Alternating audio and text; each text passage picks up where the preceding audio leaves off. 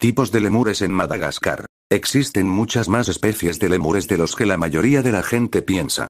Se cree que hay, al menos, 99 que todavía sobreviven incluyendo a las subespecies. Número 1 Lemur de cola anillada Una serie de anillos negros y blancos alrededor de su cola, es la marca del lemur cola anillada. Esta cola es muy larga y les ayuda a tener el poder que necesitan para esos largos saltos de árbol a árbol. Estos lémures no cuelgan de la cola, como muchas personas creen. Mucha gente dice que este tipo de lemur les recuerda a un mapache debido a su coloración. Tienen un pelaje blanco y negro en todo el cuerpo. También tienen una pequeña nariz y orejas pequeñas y redondas. Son capaces de ver y oír muy bien. Reproducción. Solo hay un macho en cada familia de lemur cola anillada. Y es el único con el que las hembras tendrán su descendencia. Los machos a menudo tratan echar fuera a los demás mediante el olor de sus glándulas odoríferas. Los expertos creen que el macho con el olor más fuerte será capaz de llegar a las hembras. Esto puede ser más de un atractivo para las hembras que en el tamaño o la fuerza de los machos. Número 2 Lemur ratón gris. Lemur ratón gris Descripción. Puede ser difícil de creer que el lemur ratón gris es un primate, de hecho, muchas personas probablemente apostarían su dinero a que es un roedor, por su nombre y apariencia física. Sin embargo, el AD no miente y lo ha calificado correctamente como un primate. Todavía hay mucho que no sabemos acerca de esta especie de lemur. Anatomía. De todas las especies de lemures en el mundo el lemur ratón es el más pequeño. Pesa solo dos onzas cuando completamente desarrollado, sin embargo, hay muy pocas especies de lemures ratón y este es el mayor de todos ellos.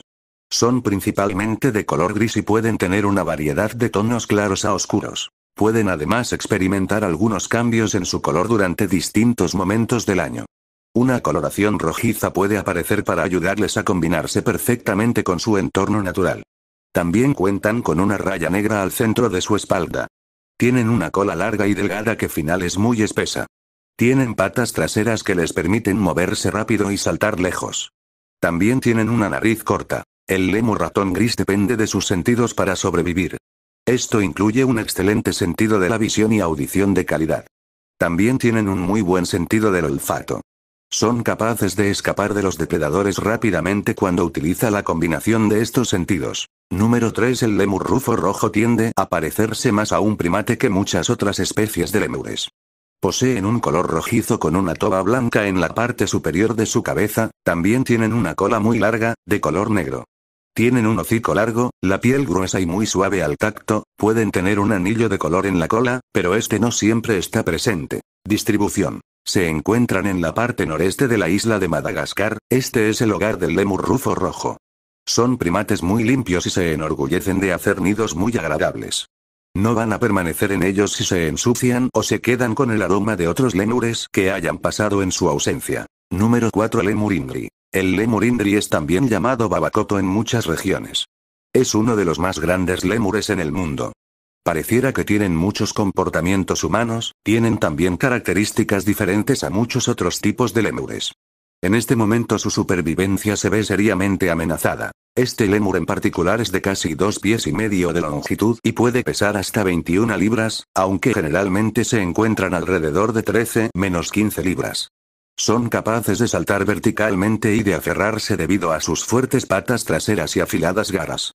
Tienen una de las colas más cortas de todas las especies de lemur. Tienen orejas redondas, nariz y ojos pequeños. No es de extrañar que a menudo se comparen con un osito de peluche. Tienen una considerable gama de diferencias en cuanto a su color. La región en la que se encuentren afectará su color, pueden ser completamente negros, marrones, y con áreas de color rojo o blanco en sus cuerpos. Reproducción. Emurindri estos lémures hacen compañeros de deacoplamiento para toda la vida en sus pequeñas familias. Solo buscarán un nuevo socio si muere el actual. A menudo se forman las familias de varias generaciones. Número 5 Sifaca de Berreaux El Sifaca de Berreaux es de tamaño medio en comparación con otras especies. Se trata de un primate similar a muchas pequeñas especies de monos. Como resultado se clasifican con precisión, por lo general, como un primate. Este no es siempre el caso con muchas otras especies de lemures que tienen una apariencia física muy diferente.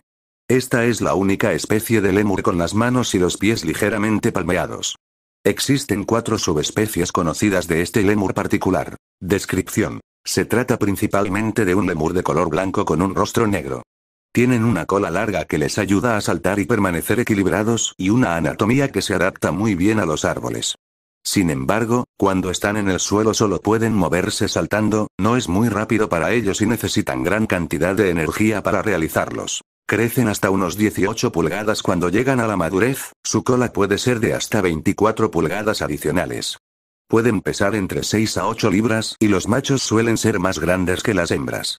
Tienen diferencias dentales que los diferencian de otras especies de lemures, son agudos pero inclinados hacia adentro, hacia la boca. Distribución. La isla de Madagascar es el hogar del lemur sifaca de Berreaux, aunque tienen gran variedad de hábitats que van desde las húmedas selvas tropicales hasta las zonas secas espinosas de... Suscríbete y activa la campanita para más vídeos interesantes.